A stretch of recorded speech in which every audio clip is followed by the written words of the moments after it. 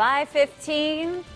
Who doesn't like going to the circus? I like going to the circus. Circus, When yeah. I was a little little When you were little, yeah. I still like it as an adult. Yeah. And hey, if you live in the area, you get a chance to go to the circus. The circus is in town. The Ringling Brothers and Barnum and Bailey Circus in town this weekend. So Bring your uh, mom. bring your bring your mom for Mother's Day. Moms like circuses too. Perhaps the kids can come along as well, create their own childhood memories. You know what I'm saying? Brian Spyros is at the XL Center in Hartford with more on what the circus includes this time around. Good morning, Brian.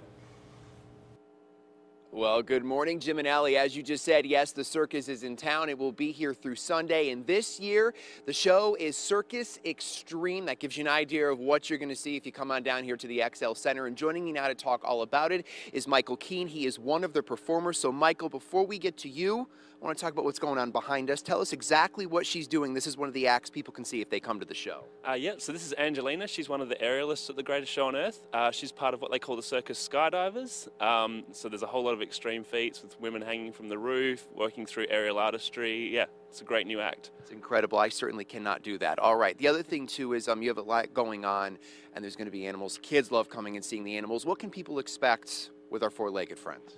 Um, I think just seeing an amalgamation of traditional circus arts. Um, you know, the elephants are great. Uh, the tiger act is amazing. Um, a dog show. There's a lot of great music tied in with it and lighting. So yeah, it's something the kids can enjoy. And just seeing elephants up close is it's an unbelievable experience. You've been part of the show for seven months. You came here from Australia. What has it been like for you, and what do you do in the show? Uh, so I'm a dancer and an acrobat. Uh, performing, it's a great experience. Every other week we're in a different city. We get to go and see new things. I love it.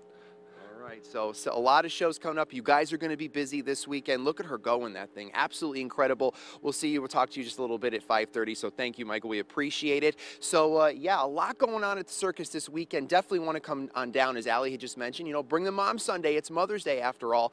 As a reminder, we'll have much more coming up at 5:30. That's the latest. Reporting live this morning from Hartford, Brian Spyros, News 8.